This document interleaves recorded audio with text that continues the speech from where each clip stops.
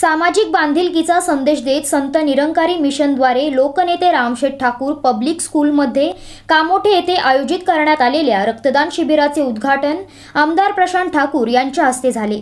Sant Nirankari mission लोकभावनेतून नेहमीच अशा प्रकारचे सामाजिक उपक्रम राबवून आदर्श निर्माण करत आले आहे. रक्तदान शिबिराला कामोठे शहर अध्यक्ष रवी जोशी देखील उपस्थित होते.